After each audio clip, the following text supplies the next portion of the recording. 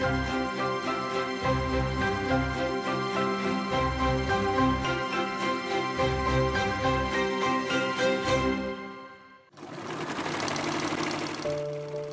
nie patrzy, on nie wybiera, on nie przebiera. On mm, jak gdyby takim naszym przesłaniem jest, żeby mm, taka wiara w to, że on pomaga.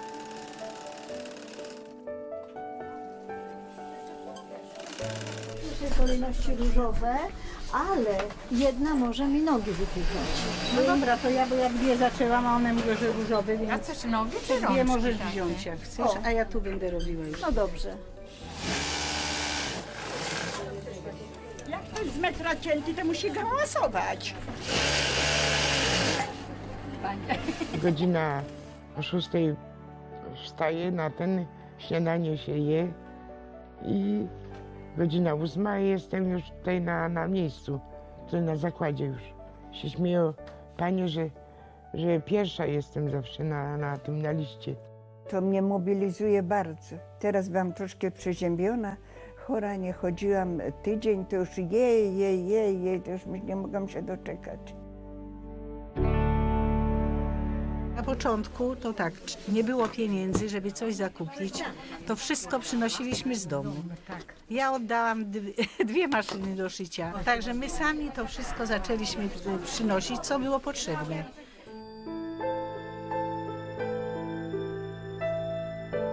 Dlaczego tu przychodzę? No przychodzę dlatego, że jestem samotna. Miałam e, ciężkie przeżycia, bo 14-letni wnuczek najpierw mi zmarł, nagle, od córki synek. Potem niecałe trzy miesiące mój mąż nie mógł tego przeżyć i też dzień przed Wigilią zmarł. I zostałam sama.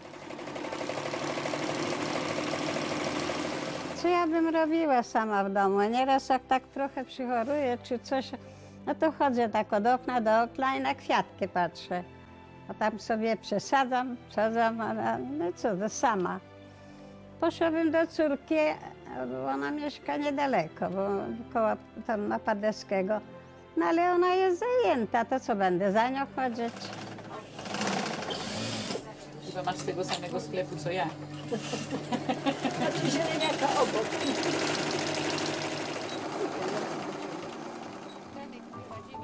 Gdyby nie ta szwalnia, bym siedziała w domu w szlafroku albo w piżamie, albo w dresach, patrzyła w okno i, i byłoby mi bardzo smutno.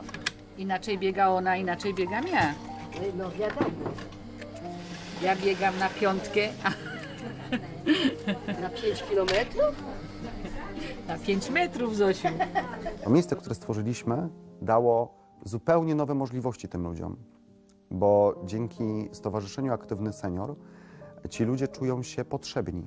Z jednej strony są samotni, ale z drugiej strony mają ogromną potrzebę bycia w grupie i wiedzą, że są inni, innym ludziom potrzebni.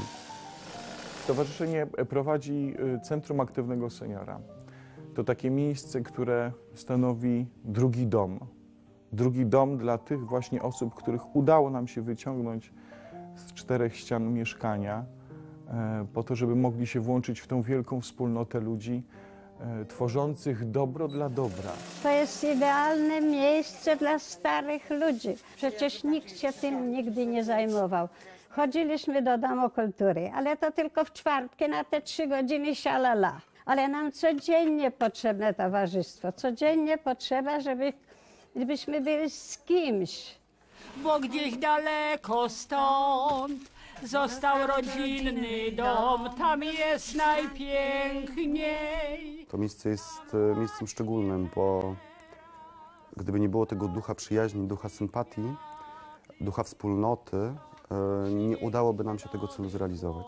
Rozkwitłe pąki. I trzeba spowodować taką akcję w porozumieniu z Caritasem, żeby ci ludzie mieli się gdzie ogrzać i umyć. Tak. A wy mi pomożecie. Pomożecie. Wiesia, ty się módl codziennie. W szwalni seniora, która jest częścią Centrum Aktywnego Seniora, powstaje e, maskotka o wdzięcznej nazwie Skrzat Helpik. Jest to dobry duch e, każdego domu e, na świecie. On nie ma oczu, on nie patrzy, on nie wybiera, on nie przebiera. On, mm, jak gdyby takim naszym przesłaniem jest taka wiara w to, że on pomaga. Przytulić go można, posadzić w jakimś fajnym miejscu w domu.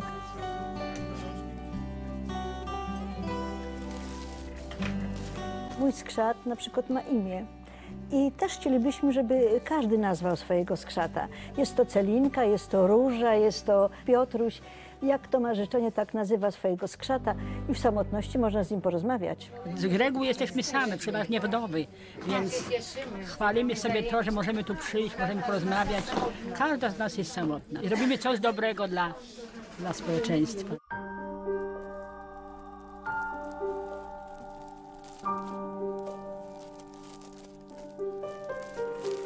Sama mieszkam, bez nikogo, bez, bo nie mam dzieci.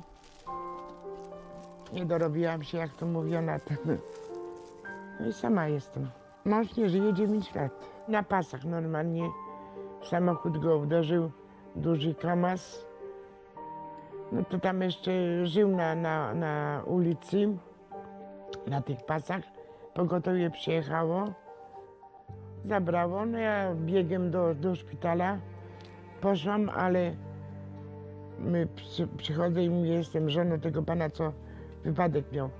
A ten pielęgniarz mówi, tam leży, ale już nie żyje. Komornik mi zabiera 360 zł, mam 903 zł, no to to stowarzyszenie e, kupuje mi lekarstwa. Muszę opłacić mieszkanie, światło, gaz, wodę. No i te różności tam zostaje mi 300 zł do, od 25 do 25. Przechodząc przez ulicę, najechał na mnie tyr. Jak leżałam na ojomnie, to tego nic nie wiedziałam. Siedem dni. Tego nic nie wiedziałam, że nie mam ręki, że nie mam to, to tego nie wiedziałam. Aż na jakiejś tam którejś wizycie dopiero do lekarza się zapytałam, panie doktorze, a dlaczego ja nie mam opatrunku robionego na to rękę? Bo ja ją czułam, że ja ją mam. No i właśnie doktor powiedział, że ja mam amputowaną rękę. Czy tęskni Pani za, za mężem?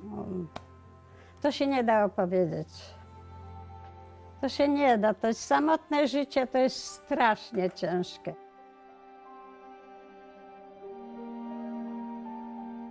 Ci, co pracują, przychodzą y, na obiady za darmo, nie płacimy za te pieniążków. Wykupują ludziom leki. Jak trzeba, to i węgiel komuś wykupią, więc to stowarzyszenie bardzo dużo rzeczy robi dla nas.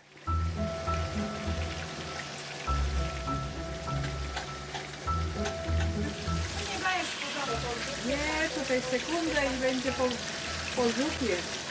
Stowarzyszenie Owszem prowadzi restaurację Gary Babci Krysi. Ciekawa również nazwa, z której jesteśmy bardzo dumni. Natomiast ta restauracja powstawała pierwotnie z myślą właśnie o, o osobach obecnych w Centrum Aktywnego Seniora. Dzieło bardzo dobre, bardzo szczytne, moim zdaniem, jakim jest akcja Zawieszony Obiad. Dziękuję.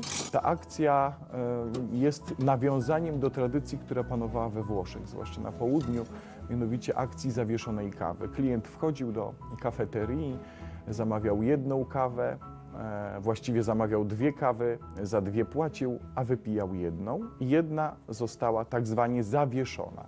Więc drugi klient, który wchodził do restauracji, pytał, czy jest zawieszona kawa i tą kawę otrzymywał bezpłatnie.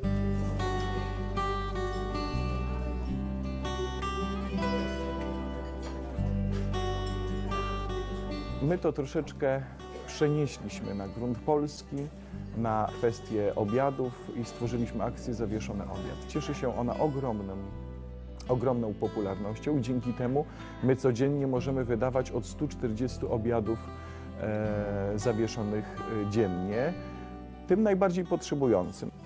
To są młodzi ludzie. My jesteśmy wdzięczni, że zajęli się starcami, bo taka prawda.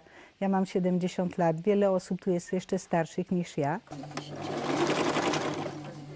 Do neurologa pójdą, ale jak ten neurolog mi nie pomoże, to ja ją zapiszę, to ją zapiszemy do naszego. Bo ja, moim zdaniem ona ma źle dobrane leki. Te stany omdleniowe, Mnie się co tutaj wydaje, ma, że też. to ona ma źle dobrane Ja leki. po prostu. zawąd chwita. Tak. I tu już, już jest... Co ja tu będę robiła? Tak sobie pomyślałam. Panie Michale, co ja będę tu robiła? Będzie pani siedziała i kawkę piła i rozmawiała. No, no i na tym się stało. A, a ja no, z, taka jestem mobilizująca. Mówię, no co ja to to? No kroić, kroić, no tam tego, nie to, no ta jedna ręka jeszcze jednak jest ta druga potrzebna. Wzięłam się za wycinanie. No i teraz nie dorówna mi nikt. Wyciągamy ich z domu, oni tutaj się pojawiają, przychodzą, są, uczestniczą w tych zajęciach, spędzają tutaj czas od rana do popołudnia, czasami do wieczora, spotykają się na potańcówkach. Tutaj nawet gdyby był ktoś samotny zupełnie, nie miał pomocy, to od razu już do mnie był telefon. Tak, czemu mnie nie ma? Mówię, że mam e, już e, tą chorobę i, a, a co ci potrzeba? To mi tu tak, zaraz jest taka po prostu rozmowa, że chcą wszystkim pomóc. As mi tyle pomaga w życiu, że wstaję rano, jestem zmobilizowana, muszę swoje czynności załatwiać, ubierać się i ś- pośpiechem przychodzić na dziesiąte do asa. Tak jakbym do pracy szła. Tak jakbym miała ze 20 albo 30 lat. Trzeba być wśród ludzi i trzeba mieć jakiś cel, że coś robimy, mm, dla kogoś żyjemy. Nie tylko dla siebie, nie tylko dla rodziny, trzeba coś i dla siebie zrobić. Wycieczki, wyjazdy. Wydaje mi się, że to jest bardzo ważne dla osób po 60. Życie jest krótkie, mija, przemija wszystko to. A to, co się w życiu skorzysta, to pozostanie w pamięci. W tych latach teraz się dopiero to wspomina, dopiero się docenia.